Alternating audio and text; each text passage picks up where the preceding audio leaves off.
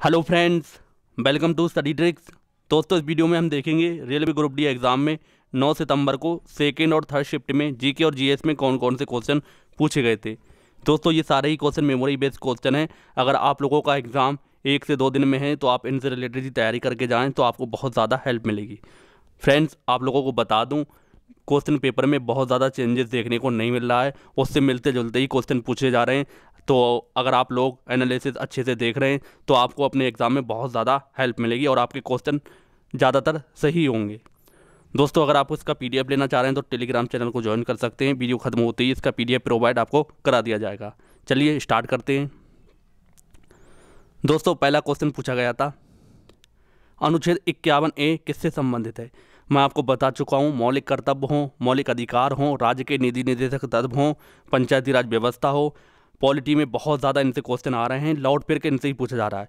आज मौलिक कर्तव्य से मान सकते हैं, जब से ग्रुप डी का एग्ज़ाम हुआ है, दस दस बार क्वेश्चन इससे आ चुका है लगभग। तो इनको, इसको आप बिल्कुल भी हल्के में ना लें, इनसे बहुत ज़्यादा क्वेश्चन पूछे जा रहे हैं।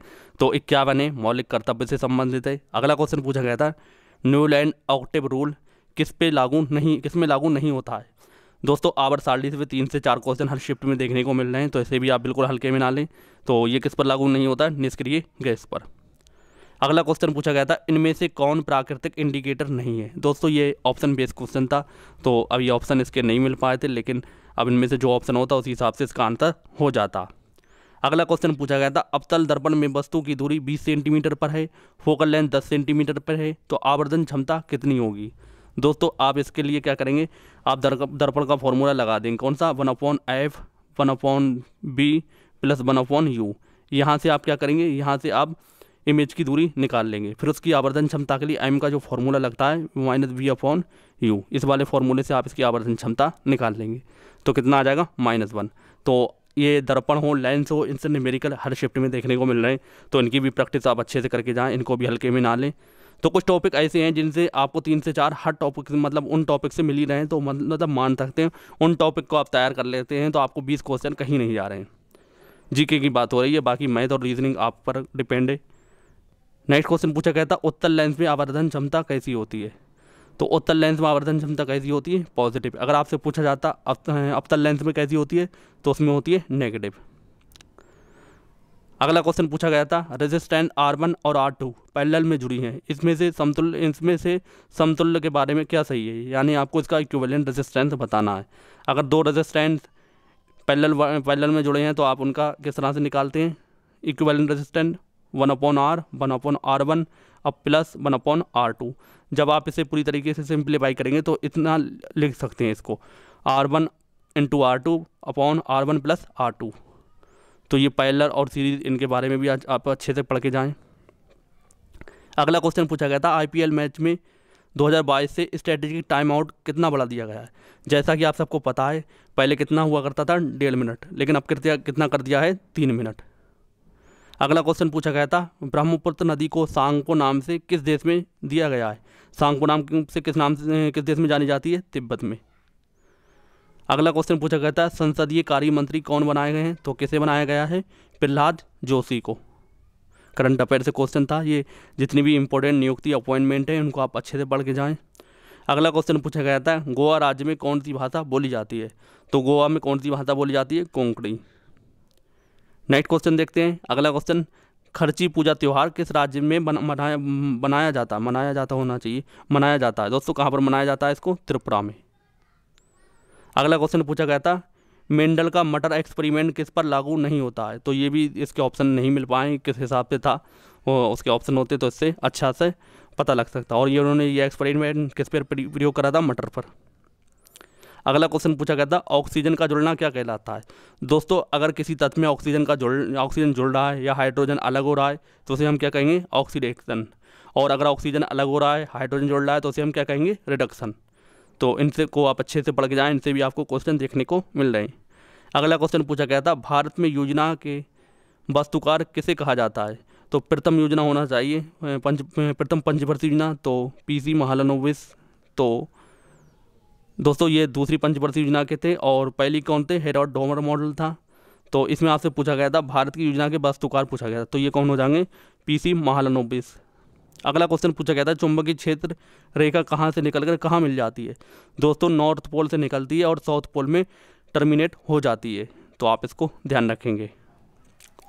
अगला क्वेश्चन पूछा गया था, आध्यात्मिक गुण इनमें से किसमें होते हैं? दोस्तों किसमें होते हैं? अगर ऑप्शन उसमें अलग अलग तत्व दे रखे थे, इसमें हमारा ऑप्शन क्लोरीन बिल्कुल सही हो जाएगा। अगला क्वेश्चन पूछा गया था C A C O S O four plus aluminium को जब मिलाएँगे तो क्या बनेगा? तो क्या बनेगा? इस तरह की रिएक्शन के ऑप्शन दे रखे थे तो ये आपका सही हो जाएगा। अगला क्वेश्चन पूछा गया था, पौधों अपनी जड़ों और पत्तियों से क्या अवशोषित करते हैं? दोस्तों, क्या अवशोषित करते हैं? कार्बोहाइड्रेट और जल। तो इससे रिलेटेड बहुत ज़्यादा क्वेश्चन पूछे जा रहे हैं। इनको भी आप अच्छे से पढ़ के जाएँ। अगला क्वेश्चन देखते हैं। अगला क्वेश्चन पूछा गया था, किसी सर्किट में अगर चार चार ओम का लगा है, प्रतिरोध चार ओम लगा है तो वोल्टेज 220 वोल्ट है तो करंट की कितना प्रभावित होगा? दोस्तों, इससे ओम के नियम से इसको आसानी से कर सकते हैं। क्या होता है? बी बराबर आई आर आपको निकालना क्या है? करंट निकालना है, यानी आई बराबर आपका कितना हो जाएगा? बी अपॉन आर तो 220 को आप पचपन चालीस, चार से डिवाइड कर देंगे तो कितना आ जाएगा? पचपन एम्पियर। इसको भी आप आसानी से कर सकते हैं। अगला क्वेश्चन आपसे पूछा गया था, जगन्नाथ मंदिर किसके शासनकाल में बना? तो किसके बना था? आनंद बर्मन के। तो आप इसको ध्यान रखेंगे, मंदिरों से भी आपको क्वेश्चन देखने को मिल रहे हैं। अगला क्वेश्चन पूछा गया था, हाल ही में भारत के नए उपराष्ट्रपति कौन बने? दोस्तों, कौन बने? इजी क्वेश्चन था, जगदीप धनखड़। अगला क्वेश्चन पूछा गया था 2022 में जी डी बिरला पुरस्कार किसे दिया गया? दोस्तों, ये करंट अफेयर से क्वेश्चन था तो 2022 में जी डी बिरला पुरस्कार किसे दिया गया? नारायण प्रधान को। नेक्स्ट क्वेश्चन पूछा गया था, अनुच्छेद दो सौ तैंतालीस ई किससे संबंधित है? मैं आपको बता चुका हूँ, पंचायती राज व्यवस्था से बहुत क्वेश्चन पूछे जा रहे हैं तो आप इसको हल्के में ना लें, अच्छे से पढ़ के जाएँ। तो पंचायतों की अवधि पाँच वर्ष के लिए होती है। तो ये क्वेश्चन इसमें सही हो जाएगा, आपको इसमें से सही बताना था, बाकी कुछ क्वेश्चन इसके ऑप्शन अलग थे। अगला क्वेश्चन पूछा गया था, किसी तार की लंबाई को पाँच गुना कर दिया जाए तो प्रतिरोध कितना गुना हो जाएगा? जैसे कि एक फॉर्मूला आता है, मैं अपने एक इलेक्ट्रिसिटी के लेक्चर में पढ़ा भी चुका हूँ आर बराबर रो एल अपॉन ए तो अगर लंबाई को पाँच गुना कर देंगे तो प्रतिरोध कितना गुना हो जाएगा? पाँच गुना, क्योंकि ये इसके डायरेक्टली प्रोपोर्शनल है, यानी इसके सीधा समानुपाती है। अगर इसके में क्षेत्रफल की बात होती तो एक चौथाई से कम हो जाता, चौथाई के वर्ग से कम हो जाता, जो भी होता है, इसके गुना के हिसाब से उसका आंसर हो जाता। अगला क्वेश्चन पूछा गया था सैफ महिला अंडर 18 फुटबॉल चैंपियनशिप कहाँ पर होगा? दोस्तों, कहाँ पर होगा ये? इंडिया के अंदर, यानी कि भारत में। अगला क्वेश्चन पूछा गया था, शतरंज ओलंपियाड 2022 कहाँ पर हुआ? दोस्तों, कहाँ पर हुआ ये? तमिलनाडु में। अगला क्वेश्चन पूछा गया था 2011 की जनगणना के अनुसार कौन सी भाषा दूसरी सबसे ज़्यादा बोली जाती है? तो भाषाओं से बहुत ज़्यादा क्वेश्चन आपको देखने मिल, को मिल रहे हैं तो आप इनको अच्छे से पढ़ के जाएँ। तो कौन सी बोली जाती है? बंगाली। अगला क्वेश्चन पूछा गया था, मार्च 2022 तक 12 अनुसूची के साथ कितने अनुच्छेद और भाग हो गए हैं? दोस्तों, कितने हो गए हैं? तो 25 भाग 25 हो चुके हैं और अनुच्छेद कितने हो चुके हैं? 470 तो देख सकते हैं, करंट अफेयर में इन्होंने polity polity mix current affair का ये क्वेश्चन कर दिया इन्होंने। अगला क्वेश्चन पूछा गया था, पंजाब नेशनल बैंक में किस किस बैंक का विलय हुआ है? दोस्तों, किस किस बैंक का विलय हुआ है इसमें? ओरिएंटल बैंक और यूनाइटेड बैंक। तो ये दोनों किसमें मर्ज हो गई हैं? पंजाब नेशनल बैंक में। अगला क्वेश्चन देखते हैं। मैग्नीशियम ऑक्सीजन के साथ बर्न करने पर क्या बनेगा? क्या बनाएगा? दोस्तों, क्या बनाएगा? Magnesium oxide. अगला क्वेश्चन पूछा गया था फॉस्फोरस क्लोरीन आर्गन सल्फ़र इसे बढ़ते हुए क्रम में सजाएँ। तो इसे बढ़ते हुए क्रम में सजाने पर सबसे पहले फॉस्फोरस आएगा। मतलब सबसे छोटा फॉस्फोरस फिर सल्फ़र फिर क्लोरीन उसके बाद ऑर्गन तो ये इसका हो जाएगा, बढ़ता हुआ क्रम। बढ़ते हुए क्रम में ही सजाना था। अगला क्वेश्चन पूछा गया था मेन लीप की आवर्त सारणी किस पर निर्भर थी? दोस्तों, किस पर निर्भर थी? परमाणु भार पर। और मोजले की किस पर थी? परमाणु क्रमांक पर। अगला क्वेश्चन पूछा गया था, गर्भ निरोधक ने निरोधक में समय गर्भ निरोधक के समय इन्फेक्शन से बचने के लिए टेम्परेरी किसका उपयोग किया जाता है? दोस्तों, ये भी ऑप्शन बेस्ड क्वेश्चन था, इसके ऑप्शन नहीं मिल पाए थे। अगला क्वेश्चन देखते हैं प्लास्टर ऑफ़ पेरिस में कितना कितना मॉलिक्यूल वाटर होता है? दोस्तों, कितना होता है? तो ये इसका प्लस ऑफ़ पेरिस का फॉर्मूला है। तो कितना होता है? हाफ़ हाफ़ मोलिक्यूल होता है। अगला क्वेश्चन पूछा गया था शिवालिक की चोटी की ऊंचाई कितनी है? दोस्तों शिवालिक की चोटी की ऊंचाई कितनी है? तो इसमें एक रेंज दे रखी थी 900 से 1100 मीटर। तो इसका ये ऑप्शन सही हो जाएगा।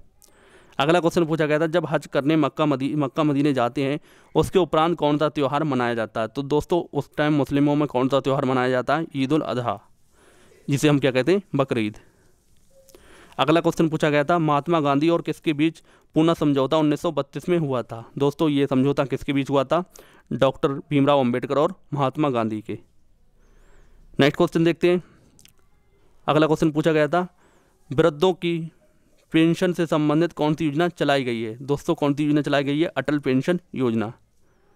अगला क्वेश्चन पूछा गया था, sine I upon sine R किसका नियम है? दोस्तों, ये किसका नियम है? स्नेल का नियम। अगला क्वेश्चन पूछा गया था, एक गोली दर्पण से ऑरेंज और ब्लू रंग पास करती है तो सबसे ज़्यादा मुड़ेगी तो कहाँ पर मुड़ेगी? नीले कलर की ओर। तो आपको ध्यान रखना है इसे। तो ये सारे क्वेश्चन आपको ध्यान से पढ़ना है और इसी से रिलेटेड ही आपको पढ़ के जाना है। अगला क्वेश्चन पूछा गया था, अगर कोई दर्पण बोल और फोकस पोल होना चाहिए, दोस्तों पोल और फोकस की दूर दूरी को दुगना कर दें तो उसको क्या कहेंगे? दोस्तों से क्या कहेंगे? वक्रता केंद्र। अगला क्वेश्चन देखते हैं, किसी अवतल दर्पण में बड़ा, सीधा और आभासी इमेज के लिए वस्तु कहाँ पर रखेंगे? मैंने आपको इसकी ट्रिक भी बता रखी है, अवतल दर्पण से बनने वाली प्रतिबिंब की। तो ये इन्फिनिटी ये सी और ये एफ़ अब पूछा गया है जो हमारा प्रतिबिंब में कहाँ बनेगा? मतलब कैसा बनना है? बड़ा और आभासी बन, सीधा और आभासी बनना है तो ये यहाँ यहाँ बनेगा। तो इस टाइम वस्तु हमारी कहाँ रखी जानी चाहिए? वस्तु हमारी फोकस और पोल के बीच रखनी चाहिए। ये फोकस और ये पोल इन दोनों के बीच में यहाँ पर वस्तु हमारी होनी चाहिए। तो इसकी ट्रिक की आप वीडियो देख लेंगे तो आप इसका कोई भी क्वेश्चन गलत नहीं करेंगे। इसे आप एक बार ज़रूर देख लें और इसे क्वेश्चन पूछे भी जा रहे हैं बहुत। अगला क्वेश्चन देखते हैं। इनमें से किसमें सिंगल बॉन्ड होता है? तो सी एच फोर में सिंगल बॉन्ड होता है। बाकी अलग अलग ऑप्शन दे रखे थे। तो सी एच फोर का आप वो बना सकते हैं स्ट्रक्चर तो इस तरह से ये बनता है। तो आप देख सकते हैं इसमें सिंगल बॉन्ड होते हैं केवल। अगला क्वेश्चन देखते हैं। अगला क्वेश्चन कौन सा पूछा गया था? अगला क्वेश्चन पूछा गया था, इनमें से कहाँ कुंभ मेला नहीं लगता है? तो जहाँ पर कुंभ मेला लगता है, उसके तीन ऑप्शन इसमें दे रखे थे और बौद्ध जो बौद्ध गया बौद्ध गया में नहीं लगता है, बाकी ये अलग हो जाएगा। तो चार स्थानों पर कुंभ का मेला लगता है। अगला क्वेश्चन पूछा गया था, लक्षद्वीप पर मार्च 2022 तक कितने टापू पर मानव निवास करते हैं? तो कितने टापू पर मानव निवास करते हैं? सात। तो ये करंट का क्वेश्चन था। अगला क्वेश्चन पूछा गया था, तीन, तीसरी पंचवर्षीय योजना के समय प्रधानमंत्री कौन थे? दोस्तों, कौन थे? पंडित जवाहरलाल नेहरू। तो इसी क्वेश्चन था ये भी। अगला क्वेश्चन बस इतने ही क्वेश्चन दोस्तों, इतने ही क्वेश्चन हमें मिल पाए थे तो ये दोनों ही शिफ्ट के क्वेश्चन थे सेकेंड और थर्ड के, जो मैं कल नहीं करा पाया था, थोड़ा टाइम मतलब नहीं मिल पाया। तो आप, उम्मीद है आप लोग अगर एग्ज़ाम देने जा रहे हैं नेक्स्ट शिफ्ट में या दो चार दिन में तो आप इससे रिलेटेड ही तैयारी करके जाएँगे तो आपको बहुत ज़्यादा हेल्प मिलेगी। तो वीडियो को लाइक और चैनल को सब्सक्राइब ज़रूर करें। मिलते हैं अगली वीडियो में। तब तक के लिए जय हिंद, जय भारत।